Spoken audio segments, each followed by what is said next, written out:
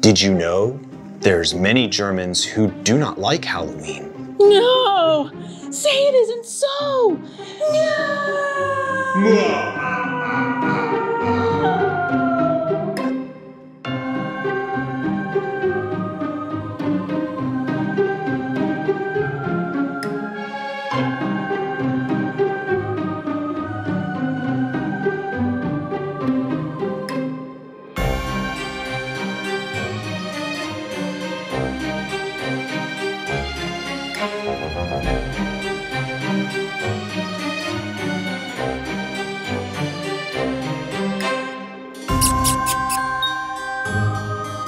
Welcome to our haunted mansion.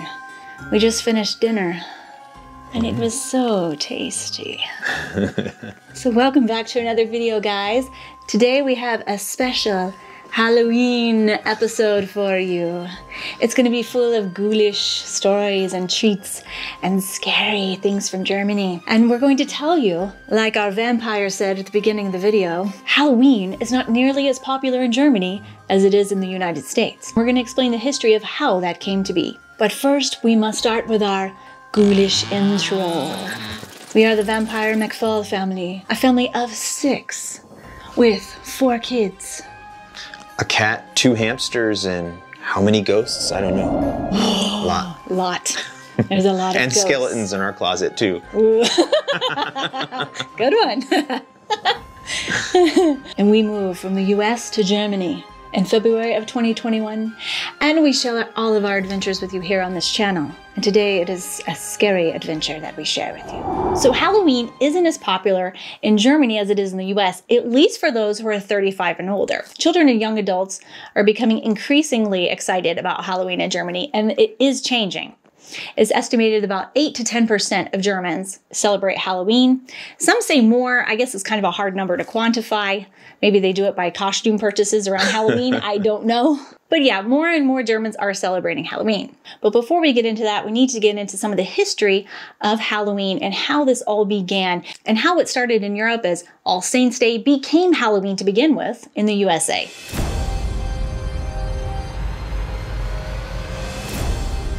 So, Halloween's origins, like many things, start in Europe, and a lot of the history of Europe starts back with the Celts, because the mm-hmm. Celts controlled so much of Europe. And actually, we never talked about when we went to Hallstatt mm-hmm. that uh, some of the proto Celts came out of that area. Mm-hmm. And so the Celts they controlled a lot of Europe and had a lot of different celebrations. Mm-hmm. And one of them was at the end of the harvest at in around October, November time. And that's when they'd celebrate the harvest. They would sort of prepare and get ready for the long, cold winter. Mm-hmm. And actually, their new year began on November 1st. So it's sort of like, so you close out all the harvest and you get ready for the cold winter. It's a bit scary. You have to be, it's going to be dark. You get sick and cold Yeah, in, in the sick. And so, you know, not only celebrating the harvest, um, but it was also sort of at the shift when the on the 31st of October to the 1st of November was like a rift in the world, and you might be able to tra- go over to the spirit world in that time when uh, when the new year began. And so they would light bonfires. There might be some scary things. They would tell ghost They stories. tell ghost stories. They would tell each other fortunes at that time too. Yeah. And so that's sort of where it came from pagan Celtic holiday. And and so a lot of people believe that the Christian church was trying to sort of create their own part of the holiday there because people were celebrating it because it was part of their past and trying to put something there uh, in that time period that was Christian. And so there had been some times to celebrate the saints. Actually, it began with Mary and some martyrs, and it was celebrated actually around Pentecost time, but eventually around 700 somewhere, the Pope decided to make All Saints Day uh, to celebrate All Saints on the 1st of November. And actually, that's the Western Catholic Church. The Eastern Catholic Church still has some of the old calendars back in the spring. But anyway, uh, in about 700, they made the All Saints Day to celebrate saints around that same time because there were already celebrations. And then a bit later, around 1000, they added in All Souls Day, where you think about all of your loved ones that have passed mm-hmm. and are in purgatory, awaiting their time to go into heaven. And so this mm-hmm. ended up becoming the Triduum Triduum, I'm not sure how to say that, um, but with ha- All Hallowed Eve, which is Mm-hmm. the night before that day of the change of the calendar. Oh, when you can go back and forth between the spirit realm and the physical realm. Right. That's All Hallows Eve. All Hallows Eve. October 31st. Right, and that's when some of the church services will begin as on on All Hallows Eve, and then All Saints Day on the first of November, and then All Souls Day on the second of November. Now, here in Bavaria, we have All Saints Day as a public holiday. I'm mm-hmm. not sure if that's overall in all of Germany. We don't often celebrate All Souls Day so much around here. Seems many of the countries in the Americas are really big on All ah, Souls Day. South America and Central America. South America, Central mm-hmm. America, Mexico is really big on All- Yeah. All Souls Day. Mm-hmm. Um, but that's the Dia tri- de los Muertos. yeah, exactly. and I guess actually that whole week from the 30th of October through the 8th of November is sort of a whole week of, Yes. of uh, but really the, the three days are the most important ones. Mm-hmm.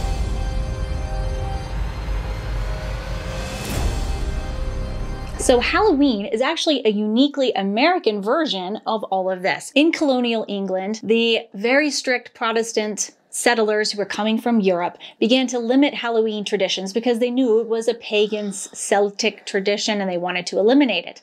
So they didn't allow for Halloween harvest celebrations anymore, at least from the state of Maryland on up.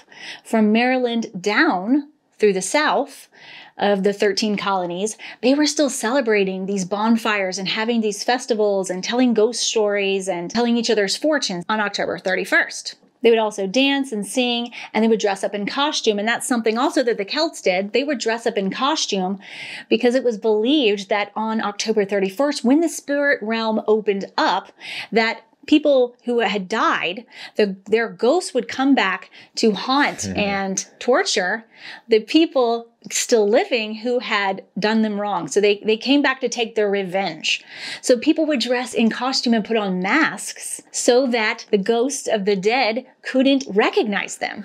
I just think that's so cool. And that's why we also have scary costumes. It was to scare away the evil spirits. So going back to the US, Halloween wasn't celebrated everywhere just yet in the colonial period. In the second half of the 19th century, America started to be flooded with immigrants, many of which came from Ireland. These new immigrants, especially the Irish ones fleeing the Irish potato famine, began to help popularize the American version of Halloween as we know it today because the Irish settlers were still celebrating the Celtic pagan ways of Halloween and they brought that with them to the US. So really we can thank the Irish for the way Halloween is done in the US today. And it began to change over time and even presidents began to popularize it. There was pictures taken with different White House presidents and their families uh, in the White House with costumes on and trick-or-treating began later on. So today in Germany, churches will have liturgical readings on the evening of October 31st. And then in some places, the parishioners will carry lanterns out into the graveyards after the service at nighttime, which I mean, to an American sounds very spooky. but it's not. It's to honor the loved ones of your family who have gone on before you. So these families place the lanterns or lit candles onto the graves of their loved ones who have already passed away. They also decorate their grave sites with branches, which you can buy. We, we saw them last year here in the stores. I didn't mm-hmm. know what they were. I thought they were early Christmas decorations because they were like pine branches. I thought, oh, how pretty. These are so beautiful. And I, I, I almost bought one and then posted it on Instagram and someone said, um, those are for All Saints Day, honey, not Christmas. Like, oh, okay. Oops. Yeah, so I didn't buy it. you can buy candles at the supermarket this time of year and place those on the grave as well. And then many families will gather after that for a big lunch or a big dinner and have a big feast together with your all of your extended family, you know, as a way to commemorate those who've gone on before you. So, along with German Catholics, German Protestants also have some conflicts with the holiday. German Reformation is also on October 31st. It is the day to recognize and commemorate Martin Luther's nailing of his 95 Theses to the door of the Castle Church in Wittenberg, Germany in 1517. German Protestants also have their own day to remember loved ones who have passed away, and that is Totensonntag, which is on the last Sunday before Advent. The whole month of November in Germany is the month of remembrance. It includes the Catholics' All Souls Day or Allerseelen, All Saints Day, Allerheiligen, the Day of Mourning or Volkstrauertag, and Totensonntag. Volkstrauertag, or People's Day of Mourning in English, is observed two Sundays before the first day of Advent. It commemorates members of the armed forces of all nations and civilians who died in armed conflicts, including victims of violent oppression. So the last day in the month of remembrance is the Protestant Sunday of the Dead. Totensonntag is intended to give consolation to the bereaved, keep the memory of the deceased alive, and at the same time call for a more conscious approach to life. For those who are Catholic, it's a very somber, holy, reverent celebration. Very unlike how it's done in the US, where it's basically this big wild party. I mean, it's a party for kids because they get to go get candy and do mhm. trick or treating. And then teenagers and adults are having parties and drinking and going to clubs and, you know, dressing up. And it's this big, big party in the US. So it's quite a different feeling from what is going on here in the Catholic regions of the, you know, basically all over the EU. Uh, we're just speaking specifically of what's done in Germany. I'm not sure how it's done in each country. If you're watching from another country in the EU and your All Saints Day and All Hallows Eve traditions are similar or different than how they are in Germany, we'd love to hear what they are in the comments below. But we're speaking specifically of Germany because that's where we live. So Halloween began to be more popular in Germany with the influence of the American soldiers that came after World War II. They brought with them the Halloween traditions, and understandably so, Germans were like, hey, you're diluting our traditions with your tradition. You're taking over, not only are you occupying our country, now you're taking over our holiday. And so it began to be sort of a, we don't like that. Uh, kind of thing, and Halloween just sort of stayed near where all the military bases are, like Ramstein and Ludwigsburg, where there's a huge pumpkin festival. The largest one in the world is in Ludwigsburg, but that's also near a bunch of American military bases. So that's why it's so big there. There's one organization in particular in Germany that is said to have basically popularized Halloween altogether. And in the 1990s, during the Gulf War, Germany needed to cut back on some things, so they decided to cancel Carnival. yeah. No. Yeah, that's awful. I'm sure it was really hmm. sad. And so costume manufacturers all over Germany were understandably scared to death. scared to death. they knew that they were going to struggle to keep their businesses open. So a special carnival group, which was called the Fachgruppe Carnival, for the German Association for the Toy Industry, which is called the Deutsche Verband der Spielwarenindustrie. They came together because they didn't want the badly hurt toy and costume industry to go under. So they said, let's pick another holiday where we can bring costumes back. Oh, Halloween. So it was literally a German organization that decided to popularize Halloween. And they put out a huge marketing campaign in the 90s to bring Halloween back. So for many Germans, especially older Germans, especially those ages 35 and older, they didn't really grow up Doing celebrating. Halloween. Mm-hmm. Right. So understandably, they're like, hey, hey where is this coming from? Yeah, right. There's no nostalgia there. Right. There's no happy childhood memories around Halloween. Like for Americans, yeah. oh my God, it's so centered in, in, our childhood memories that we get dressed up every year and go trick or treating. It is a mm-hmm. highlight of a child's life. I mean, we love it. Yeah. And for me, I mean, my birthday is two days before Halloween, so Ooh. I always had uh, Halloween themed birthday cakes, so it was yeah. always big for me.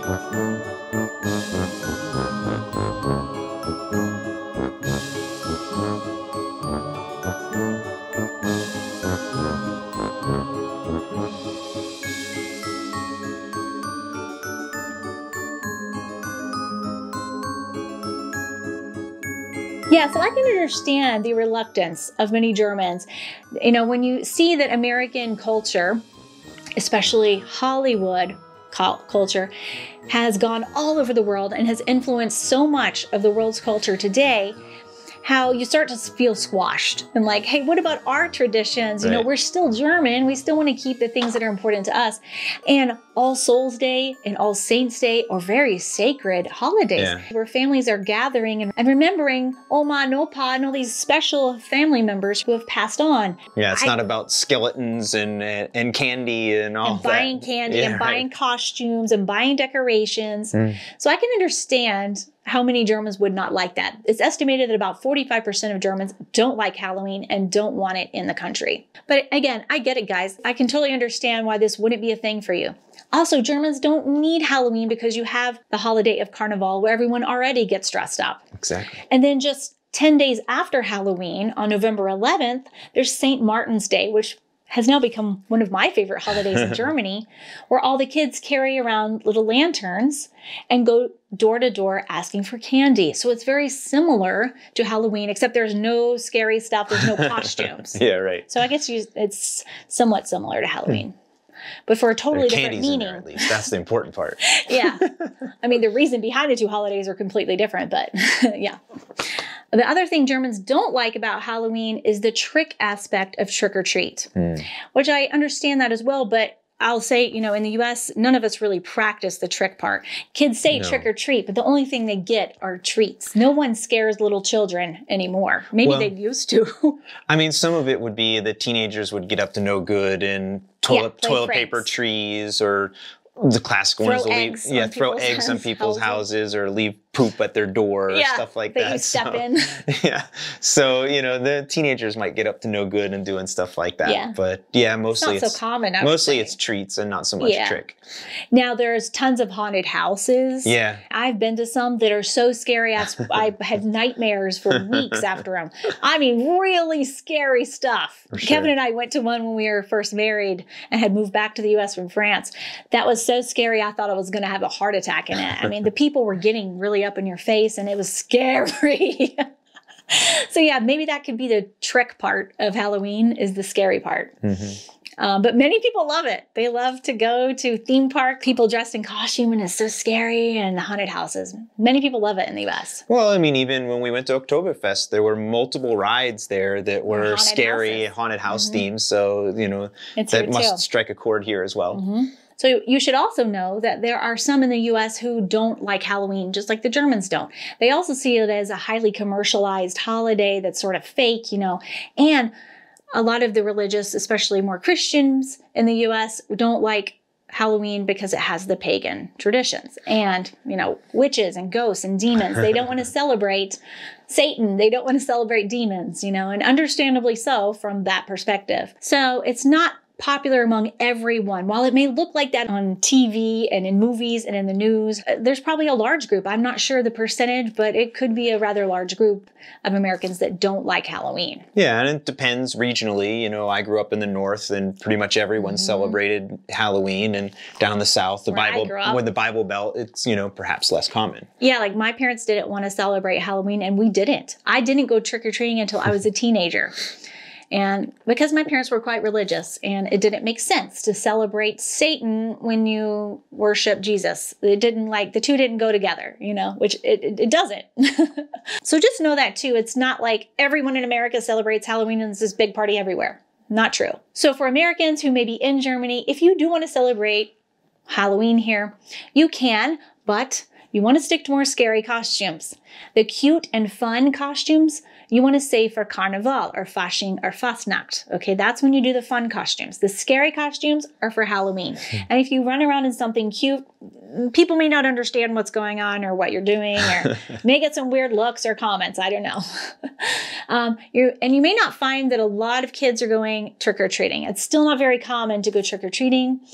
Um, of course, in German, it is called, you know, Süßes oder Saures. Oh, sweet or sour. Yeah, sweet or sours. There are some German kids celebrating it. It's not, of course, nearly as common as it is in the hmm. US, but there is a very huge pumpkin festival, like I mentioned in Ludwigsburg. There's also a big festival that goes on at the Frankenstein Castle, which is hmm. going to be in our next video. We're going to talk about the Frankenstein Castle. And there's like a whole month long event that goes on there. Again, that's also in sort of American military region of Germany. So that's why that's popular there. And there's like a horror show festival that goes on in Germany in the month of October. And then there's many farms that sell their pumpkins and sell their gourds and you can go pumpkin picking like we do mm-hmm. in the US. Yeah, I've seen a lot of roadside stands that have pumpkins. Mm-hmm. And more and more bars and clubs in Germany are celebrating and having big parties for the young adults on October 31st. So you can definitely find, hit up a club or something if you want a good party.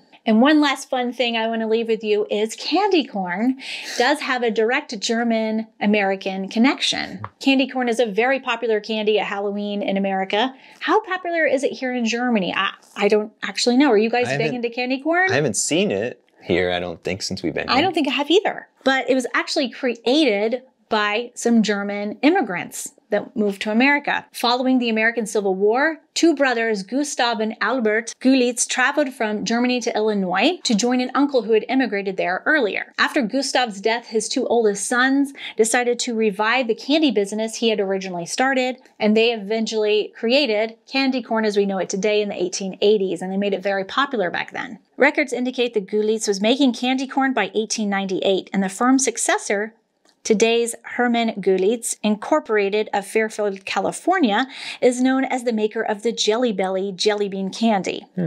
So we hope you enjoyed our history of Halloween and All Saints Day and how all of these holidays came to be celebrated and what you could expect in both countries for this day. So we hope you enjoyed our spooky fun. We sure enjoyed making it for you. Come back next week as we're going to be telling ghoulish German ghost stories mm-hmm. that will make your hair stand on end and talk about haunted German castles. All right, guys, have a very spooky rest of your week and stay safe out there. There's a lot of ghosts. All right, guys, see you on the other side of the underworld. Cheers. Press the subscribe button or we'll haunt you in your dreams.